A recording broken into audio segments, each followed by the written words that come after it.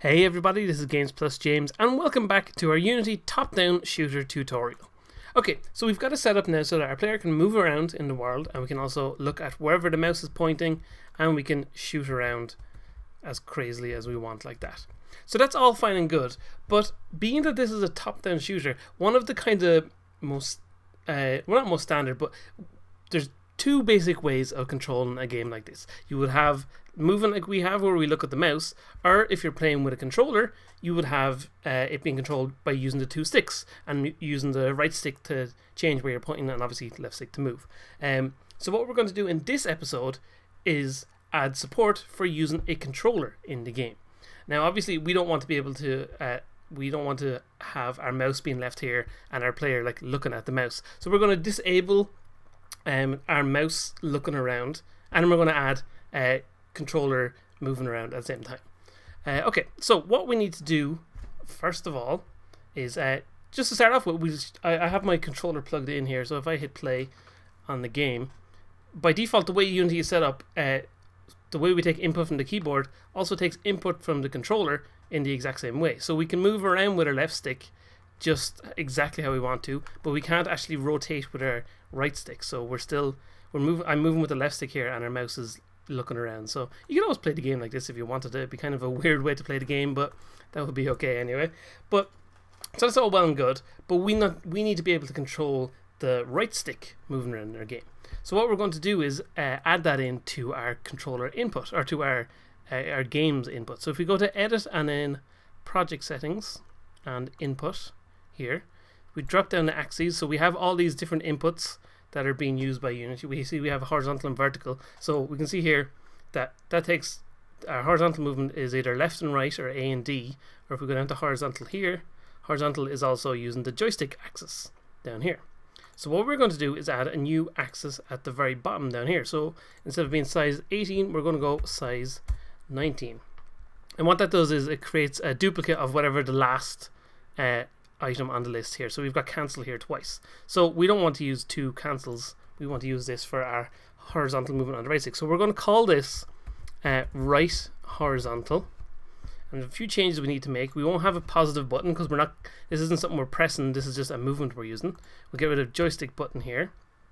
So what we want to do is instead of it being a key or a mouse button type, we want to click on it and make sure it's a joystick axis.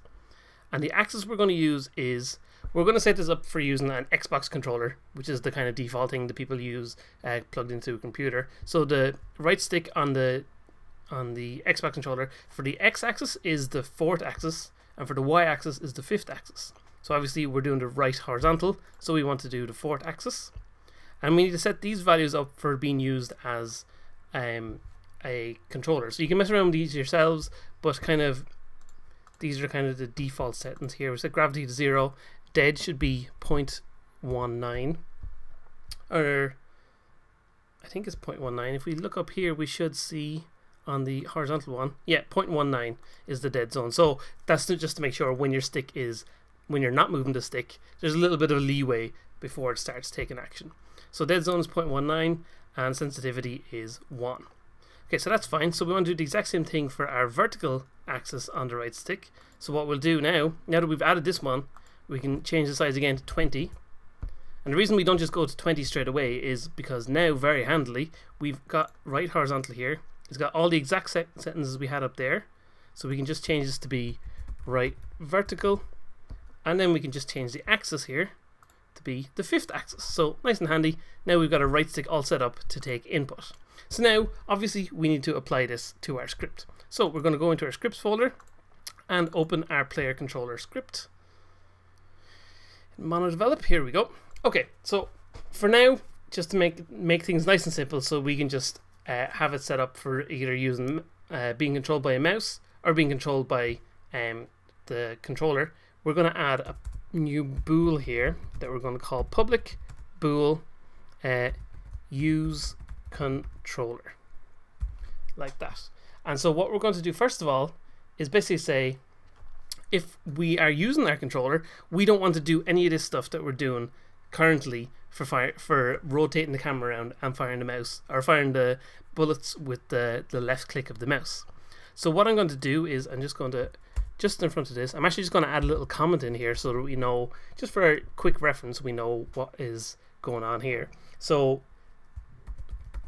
we're just going to say rotate with mouse. That's just for our own reference there.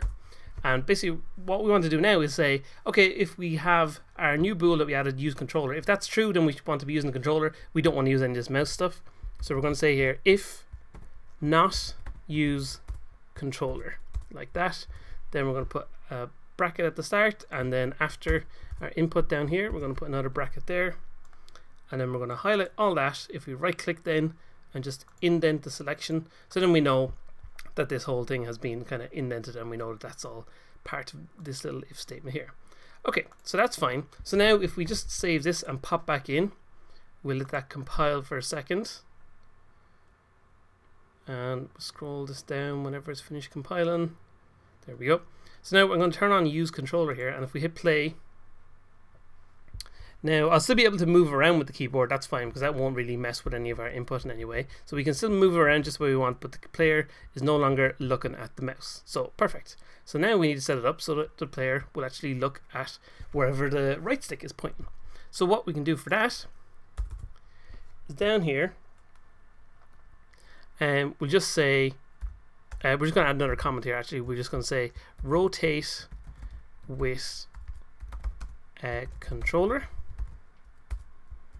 and then we're going to another if statement that says if use controller is true. So if we're using the controller, then we're going to go on to do this stuff here. So what we're going to do is basically we're just going to capture from the right stick which direction we should be facing. So the direction we should be facing, we're going to use a vector three. So we're going to create a new vector three here that we're just going to call um, player direction I'm going to set that to be equal to uh, a vector three dot right. So this will be how much our right movement is, so how much our player is moving to the right. We're going to multiply that by whatever input we're getting from the controller. So we're going to use that as multiplied by input oh, input dot get axis raw and we're going to use the right horizontal that we set up. So that'll be our right stick and the horizontal uh, axis on that.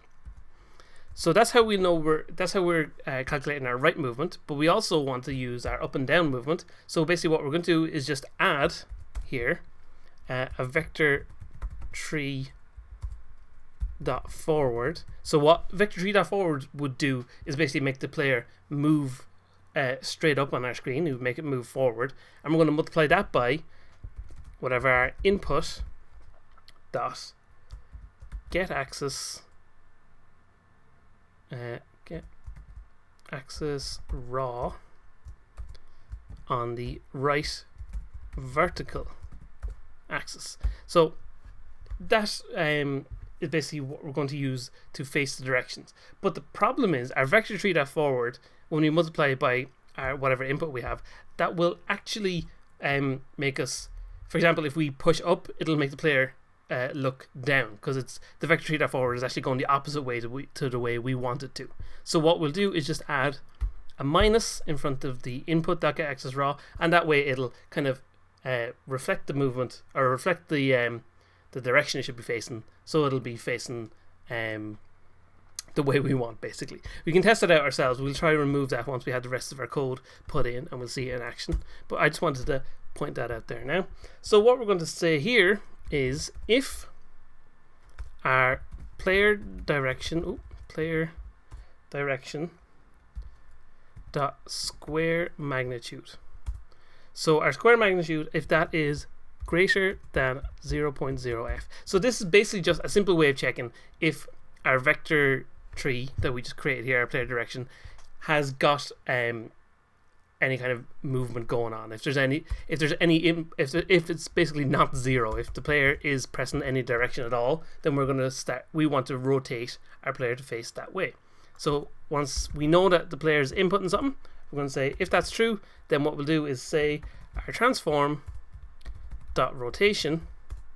Oh, if I could spell this properly, there we go. Transform dot rotation is equal to obviously, uh, rota- uh, transform rotation is not a vector value; it's a it's a quaternion, which is can be quite confusing. But we can just say quat- quaternion dot look rotation, and what we can do is set it to be our player direction that we just set up, uh, and so our player direction is whatever kind of forward thing we have, and then we have a vector upwards, which is where we're looking up, and we don't want our player to look up at all, really. So we'll keep him as a default value. So it'll be a vector three dot up, like that. So we have that set up there, and that's kind of the basics of what we need to do to make our player rotate the way we want. So we're going to save that, and we'll pop back into the game here, and we should be able to see it in action.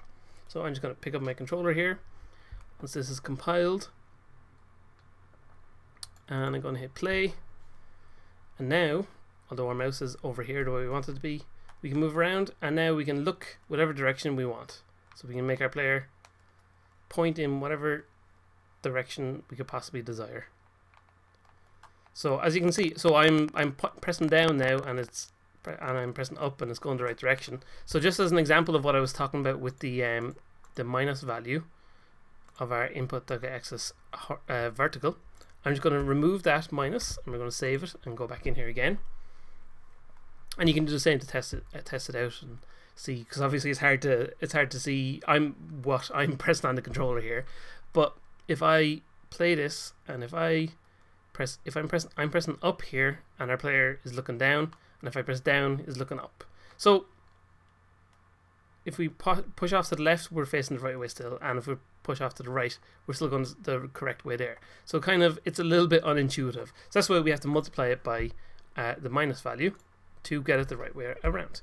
So we've got our, our player looking around in different directions, just the way we want, but we also obviously need to be able to fire our guns.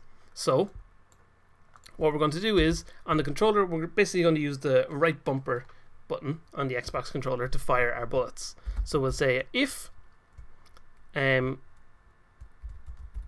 much like we did for getting the mouse button up here to set the firing to be true, this time we're going to say if input dot um, what we could do is do get button and we could actually go back in here and we could set up a new axis on our project settings. So we could go to our input. If it would let me no, it's compiling everything. There we go. So we could go here and we could add a new button down at the very bottom here to represent the right bumper and for firing our guns. Or we could just go to, we could use fire 1 here and set this to be joystick button 5, which is the right bumper button. And we could use fire 1 to fire. But we're going to show a different way of doing it here. We go back in here. So we can use if input dot get key. We're going to use get key down, much like we use get button down we're going to use get key, key down and then we're going to do key code dot joystick one button five. So what that'll do is button five on the Xbox controller is the uh, right bumper. So what we're saying is on the joystick one, so whatever is player one basically, uh, button five on that. Whenever that is pressed down, what we want to do is, much like we did with the mouse, we'll say the gun dot is firing is equal to true. So that'll let us shoot our gun in the game, and then we want to be able to make sure that we stop that happening too. So we're going to copy all of this, paste it down below, and instead of get key down, we're going to have get key up, and gun firing is equal to false. Okay, we'll save that, pop back in here. Wait for that to compile for a second.